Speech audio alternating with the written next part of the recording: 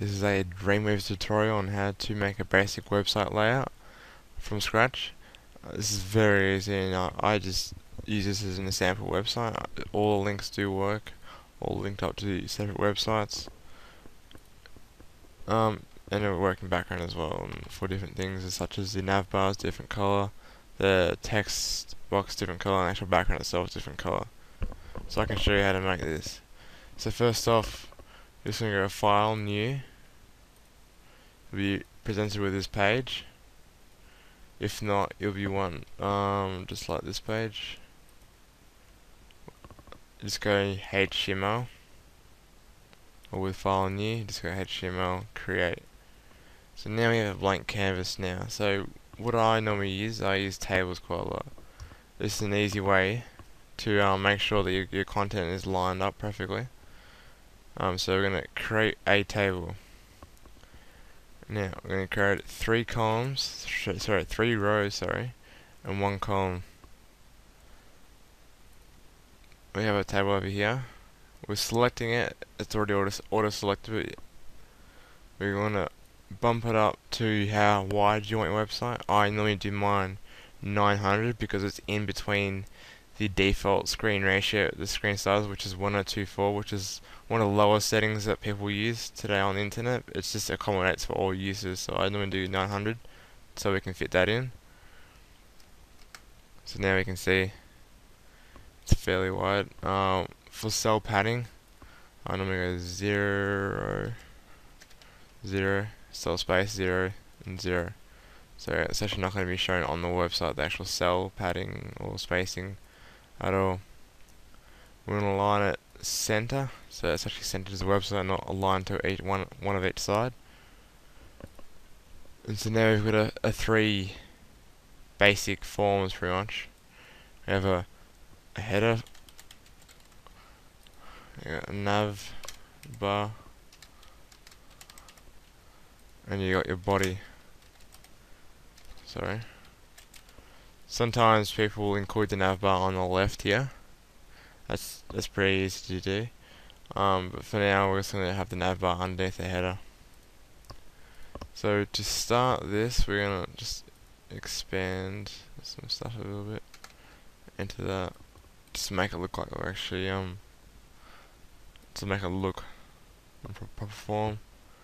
So selecting the nav, you can delete that word down. Selecting the nav Going to make sure down here that the horizontal alignment is set to left, that the vertical alignment is set to top. What this will do, it will shift everything up to the left hand corner. This is for text as well, this also should be done for the body. So for the body, left and top. So now all, all the text will be centered to the and we want to, for the navbar, like I've done another one, we've put the um the navbar in separate tables themselves. You can um we can do this by going here, and instead of doing um three columns, three rows, so we do one one row, three columns, which will give us our basic form, default center. So now we have our three things. Going to do the exact same thing we did last time with the first table, which was take out all the padding. 0, 0, and 0. It's also very important to not leave those blank, because they actually do register as a, um, as you can see, they actually do register as a, um, as a point. So you have to go 0, 0, 0 to make it work properly. So as you can see, 0, 0, 0. Um, on when we center this, so for horizontal, we center, and go top.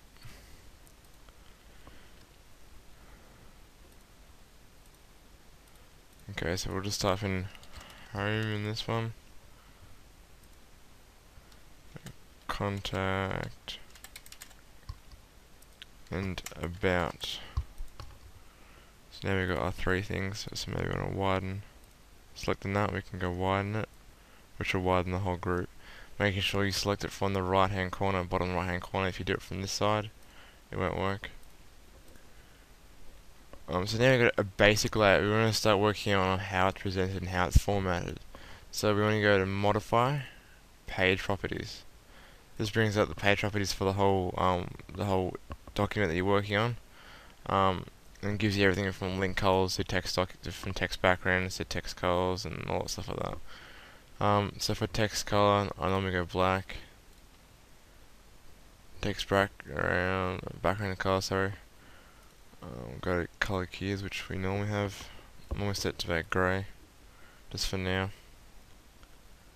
And the default font, you can leave it on that. Default normally is sans serif, which is very good for reading, but I normally like the better look of Arial. So no, sans serif is not good for reading, but it looks better uh, in my opinion. Serif, which has the um little things on the end of the uh, each letter, gives it actually allows people to read e easier.